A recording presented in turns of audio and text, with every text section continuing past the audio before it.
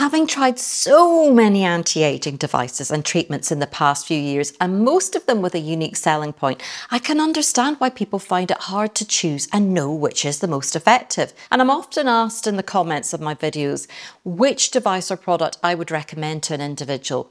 And it's impossible to answer really because I don't know their age or the condition of their skin. But what did occur to me recently, and this is why I decided to do this video, is that there's one key thing that links pretty much every anti aging device and treatment.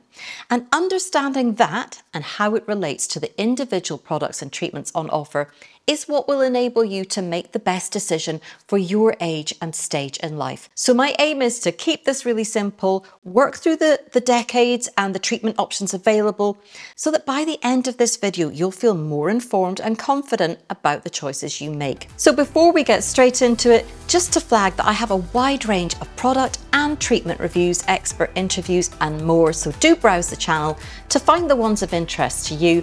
And don't forget to hit subscribe along with the notification bell to watch my future videos. So whether we're talking about retinoid serums, including of course the all-powerful tretinoin, or the at-home anti-aging devices ranging from microcurrent, microneedling, sonic massage, red light, blue light, laser, heat therapy, radio frequency, or ultrasound. There is so, so much to choose from. It's literally mind boggling. But here's what links them. Every one of those treatments is designed to stimulate your skin cells. The thing that separates them is the strength and the depth they reach into the layers of your skin. Because obviously, as we age and our bodies become a bit less efficient, we produce less collagen, which is what keeps our skin plump. And we also produce less hyaluronic acid, which hydrates our skin. So what we want to do is excite and stimulate our skin cells to basically make them act like they're young again and prompt them to up their game and their productivity levels. So it's like, come on, skin cells, let's keep this show on the road. And isn't it great that we can do that and you don't have to pay a fortune in the process? And our age and how advanced the signs of aging are on our skin, because that will vary wildly depending on your skin type, those two things really then dictate the kind of stimulating treatments you should be looking at. So let's take a look through the decades. For someone in their 20s who has virtually no visible signs of aging, there's no need to be snapping up anti aging devices. You are in protect and prevent mode at that age. So you should just be using sunscreen each day because it's sun damage that's going to age your skin most rapidly. I wish I'd known that in my 20s when I was out there slapping tan accelerator oil on in the sunshine or thinking factor 8 was a very high factor. Do you remember those days? If your mum bought Factor 15, you'd think she was out of her mind. You'd be going, I can't use this, I'm not going to tan. And then you'd wonder why you were lobster red with heat stroke by the end of a day on the beach. How little we knew. So you want a minimum factor of 30 and a broad spectrum SPF to protect your skin these days. I use factor 50 pretty much most days. Now, stepping up to your 30s, the level of aging showing on the skin can again vary wildly. I have thicker, oilier skin. My husband would tell you I have very thick skin, which my skin isn't so sensitive to the sun, and that has benefited me in terms of aging. But I've got friends with much finer, drier complexions who were beginning to show lines in their 30s, and that can even start in your 20s for some people. So, for most people in their 30s, you're going to still be in prevent and protect mode. But depending on your skin type and the stage, how far through your 30s you are, you want to start stepping up and introducing a retinoid into your regime for gentle stimulation. And I'll suggest a few favorite retinoids in the description below where you'll find uh, links to all the products and devices I'm discussing today, some of which I have discount codes for. So by introducing a gentle retinoid at this stage, that's where we're starting to stimulate our skin. We're putting a bit of extra work in by targeting the surface layers and boosting our skin cell turnover, which is going to boost our skin's ability to produce both hyaluronic acid and collagen. Result. Some people in their 30s might be starting to use things like Botox treatments as a preventative measure. I'm not thrilled by the idea of doing that so young unless you're starting to develop very prominent lines which really bother you. But ultimately, you know, I think we're probably best to work with nature, especially at that age, but it's a personal decision. I totally get that this is really important for some people and you have to do what works for you. In your later 30s, you might also want to look at using something like a microcurrent roller, like this Phoenix self powered device here that just gently stimulates the skin and the muscles, helping to keep everything tight or something like the Foreo Luna, which I'm trying out at the moment. And it uses sonic vibration to firm the skin. It has silicone bristles for deep cleansing as well. And so that's a very attractive combination. Powerful enough to make a difference, gentle enough that you can use it daily and easily integrate it into your routine. In your 40s, that's when the game really starts stepping up. You are in prevent, protect, and stimulate to rejuvenate mode, where you'll likely be looking to increase the strength of your retinoid.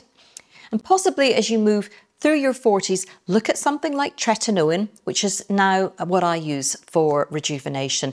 I use the Dermatica prescription skincare service to order my tretinoin, and I'll link to the review here. And I'm heading towards uh, five months now of stepping up through the tretinoin strengths, and I'm really happy with how it's going so far and what it's doing for my skin. But I'm 49. Before this, I'd been using a high strength retinaldehyde. So again, I will link to the different options in the description below and you can take a look. This is also the stage in life when you're probably going to be eyeing the multitude of anti aging devices more carefully. And where you go with that really depends on your skin type degree of visible aging and you as well, in that devices that you need to use very frequently or that are uncomfortable to use will not suit everyone. Microcurrent and or sonic massage is a great starting point for anti-aging. You've got the NuFace or the Foreo Bear facial toners, which are among the market leaders for a reason. They are a little bit of an investment initially, but they're robust and I find them more comfortable to use than cheaper copycats. Microcurrent paired with retinol, and probably at this stage adding in hyaluronic acid through a moisturizer or serum, which is going to hydrate your skin. Also, vitamin C for skin brightening. And I can recommend a hyaluronic acid serum with vitamin C added, and it's sold on Amazon. I've got that in the description below. I've been using that recently and enjoying it. And that mix is going to serve you well into your 40s. You could also add in something like a red light mask to use once or twice a week, which is penetrating the upper layers of your skin to gently stimulate and encourage further collagen production. So that's a long-term um, investment to be used longer term.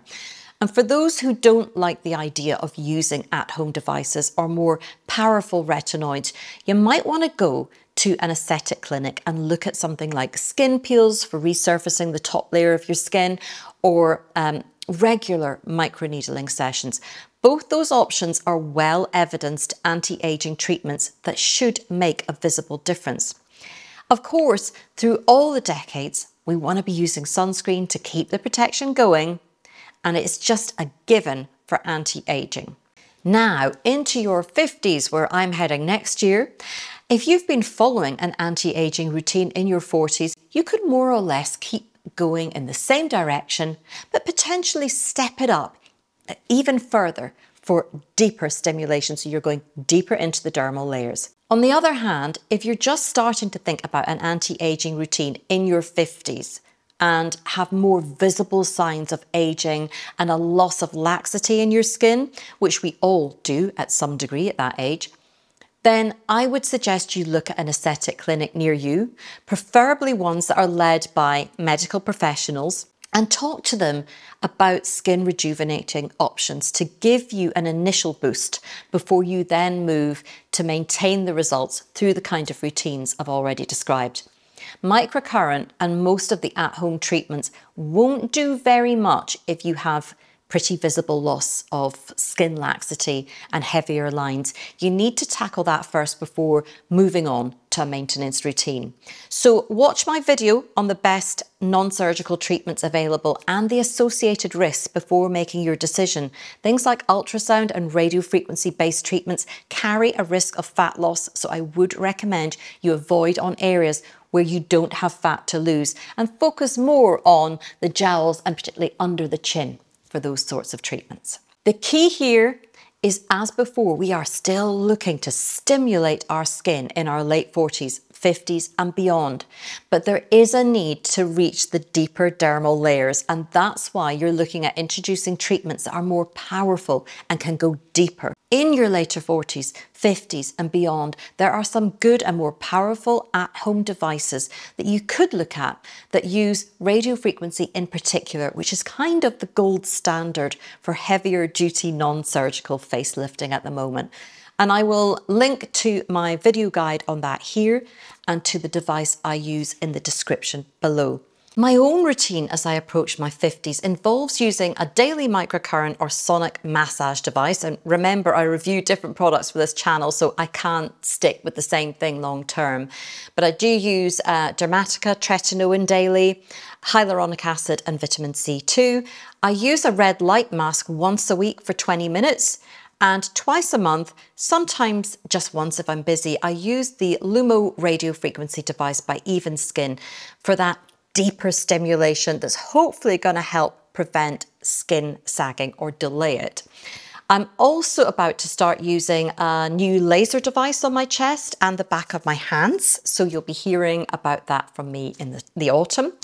I can tell you, trying out all these different devices, there is a careful balancing act for me to not overstimulate my skin, so I have to carefully target different solutions to different areas and watch not to overdo it. Phew! So, that was a whirlwind tour based on my experience of the anti-aging options to take you through the decades, which I really, really hope you found helpful. Let me know what you think in the comments. I love to read them and to hear your views and experiences. And if you enjoyed this video, I'd appreciate it if you could give it a thumbs up and also subscribe to watch my future ones. For now, thanks for watching and I'll see you next time.